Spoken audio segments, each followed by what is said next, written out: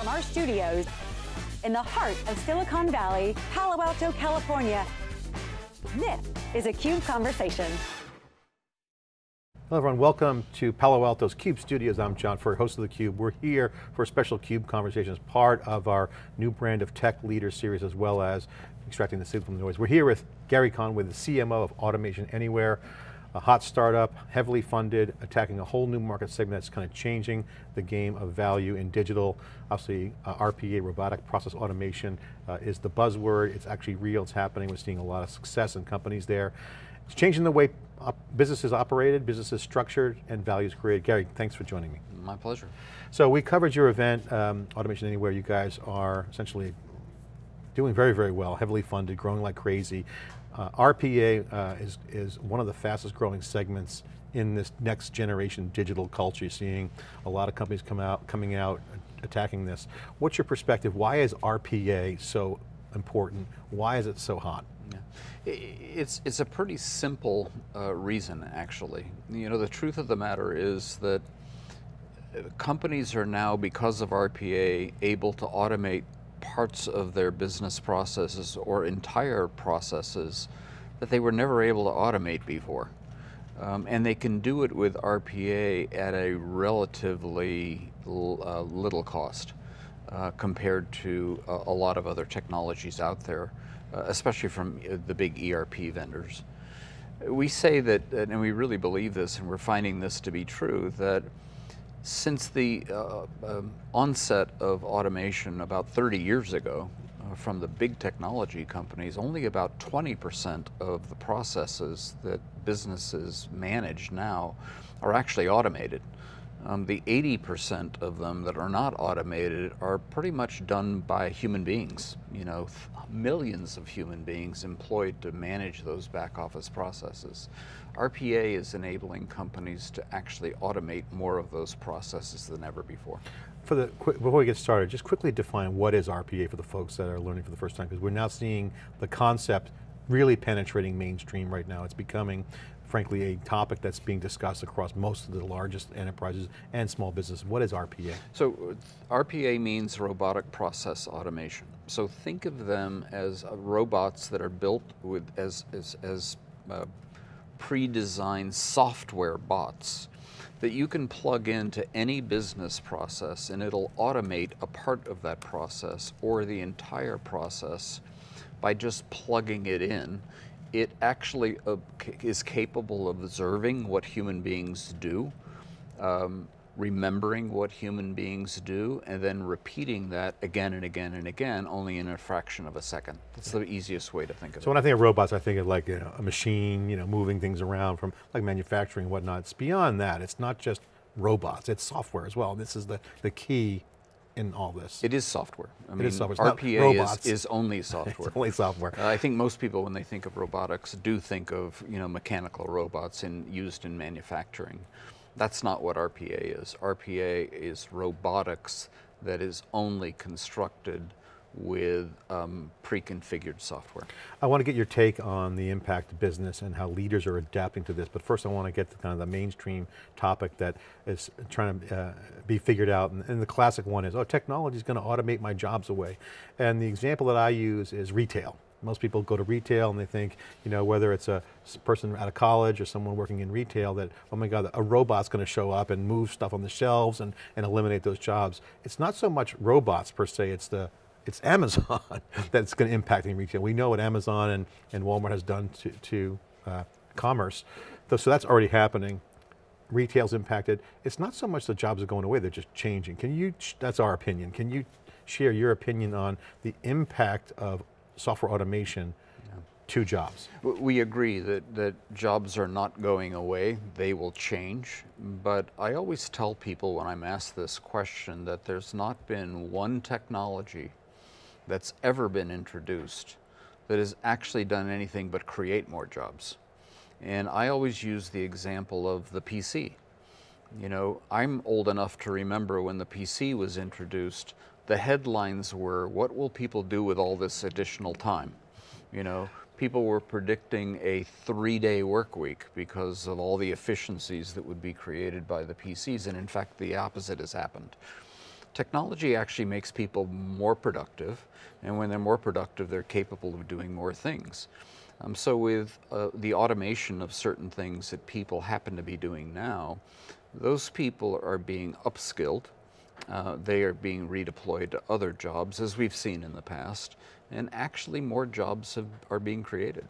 You know, we cover a lot of the big data space going back to 2010 when we first started theCUBE at Hadoop World, which you know, that kind of had its course, but ultimately big data, which became AI you know, the bank teller example, you know, the ATM was going to kill the branches, when in reality there's been more branch offices That's what now, we're seeing, yeah. than ever before. So again, I think the argument is pretty clear from the data and the trend. Technology is actually helping create new jobs, mm -hmm. but not the jobs maybe that there were once there. That seems to be the, the big debate.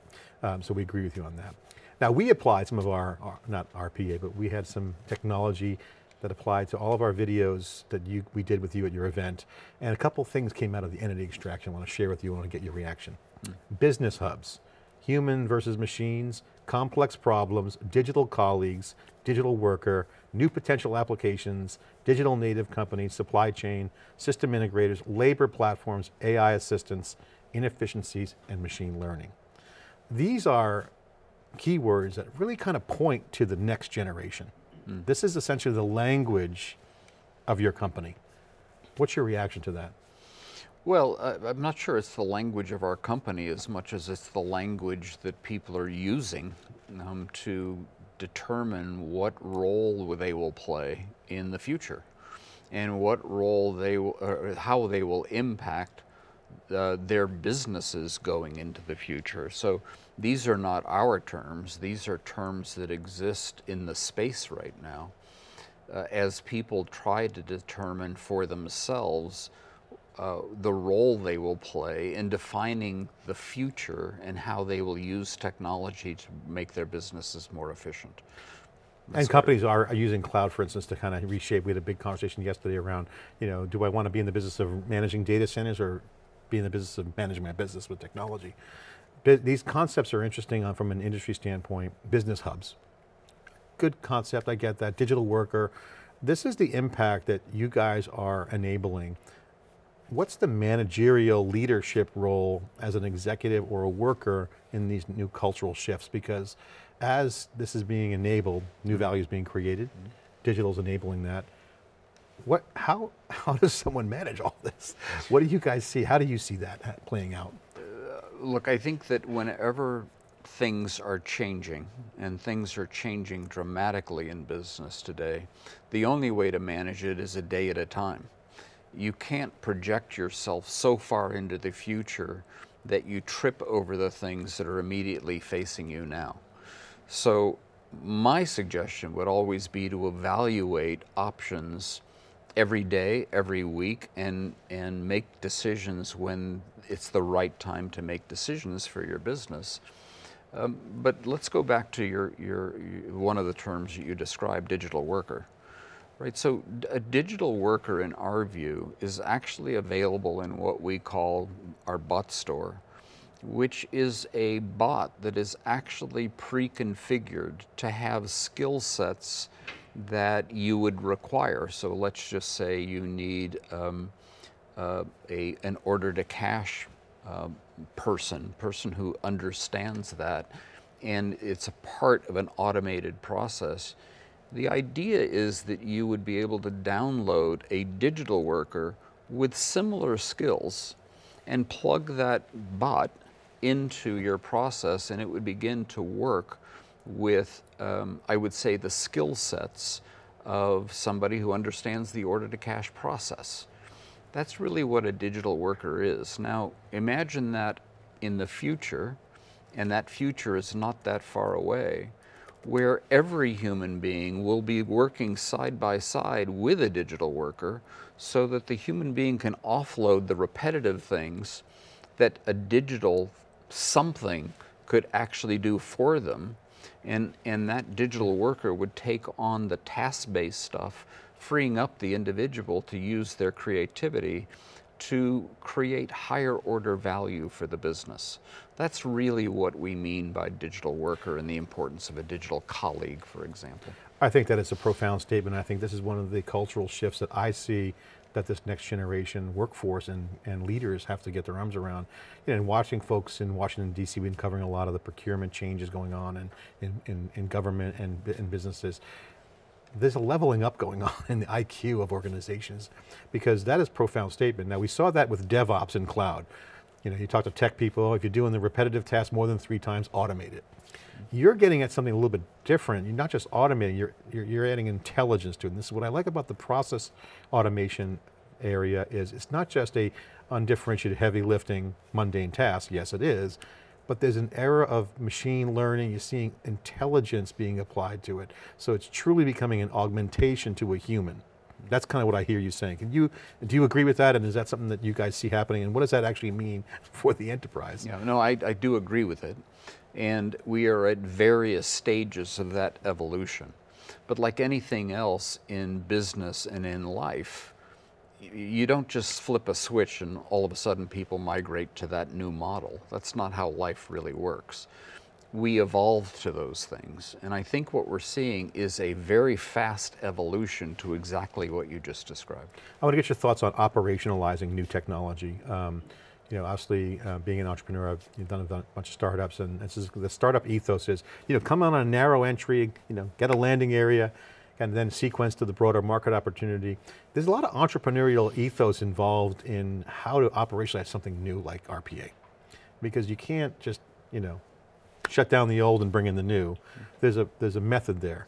This is a challenge in any new technology. How do you guys see this playing out? Because you guys are on the front end, bringing real value to the table, um, but people might want to get more aspirational and then get the reality. How do you get into the, the point of going into someone saying, I love what you guys do. What's the playbook? What do I do next?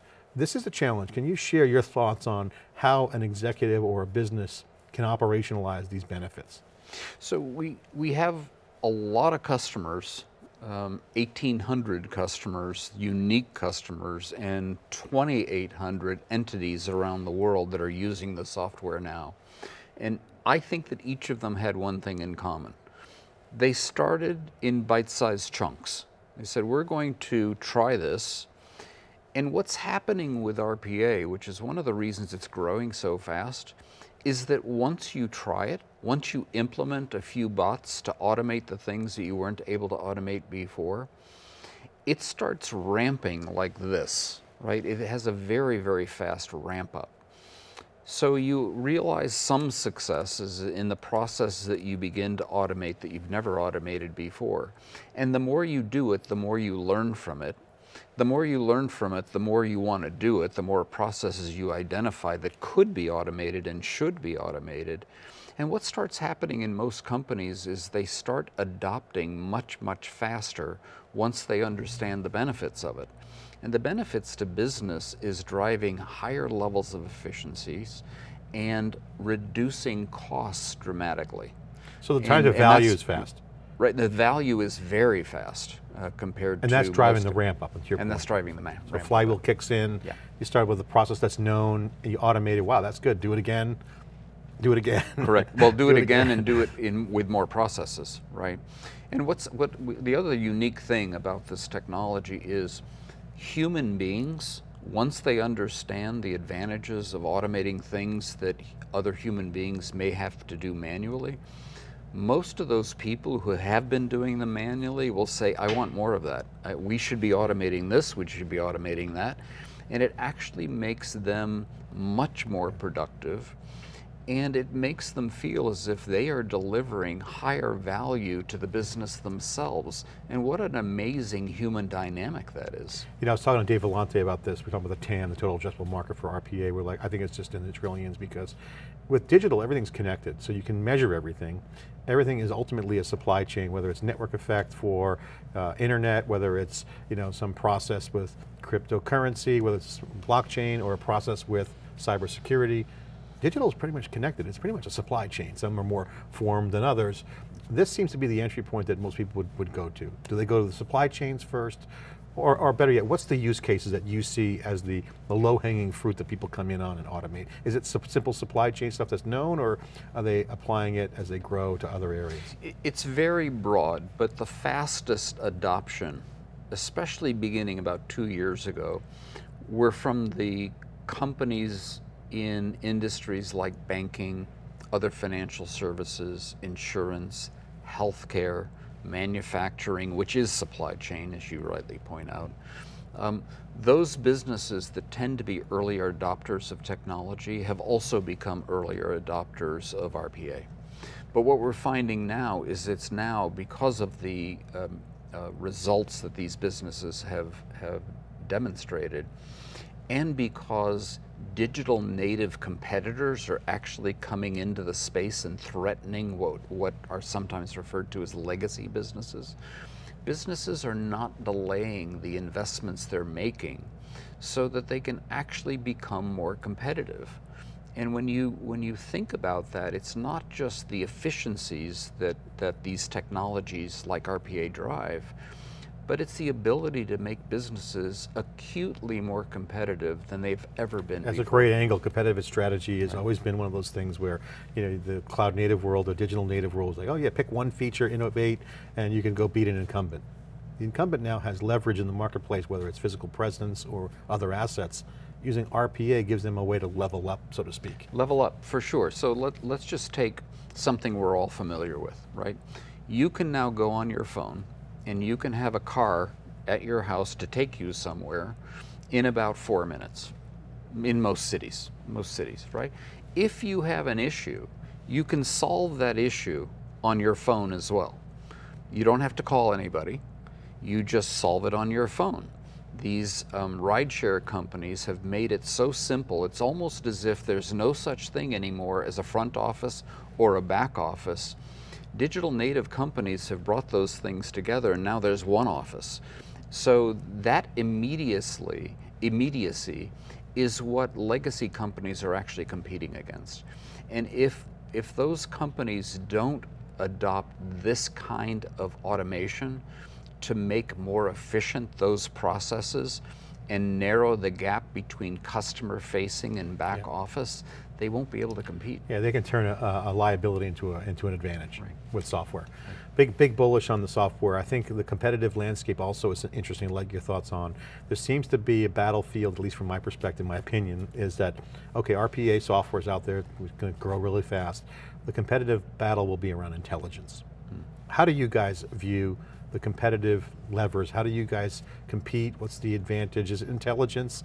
Is it being more intelligent? Is it more operational? What's the advantage you guys see vis-a-vis -vis the competition? Yeah, so we're, we're, we're actually seeing a sort of a bringing together of technology, what we've considered to be strictly technology, and what's being described broadly now as artificial intelligence. Um, artificial intelligence is still evolving. Everybody has its own definition of what it really is. But what we're seeing, and I think other in other sectors we're seeing the same thing, is now the merging of things that have truly been technology with things that are perceived to be uh, artificial intelligence, and they're beginning to come together. What that will look like five years from now, nobody knows. What it'll look like 10 years from now, no one can even conceive of. But we're seeing that dynamic in place now, and this is the beginning. It's a great wave, excited to have you on, share your insights. Gary, it's great stuff you guys are doing over there, uh, Automation Anywhere. Love the art, we love this, this wave, We think it's going to be relevant. My final question for you though, is a little bit different. Take, you know, you're at a, at a, cocktail party, you're at a friend's house, you're at a uh, confab, and you see people that aren't in the business and they're like, Gary, what do, I need to get, I need to be more competitive. What do I do? What is this RPA thing? How do I change my culture? How do I get my people and my process aligned with software? What's the playbook?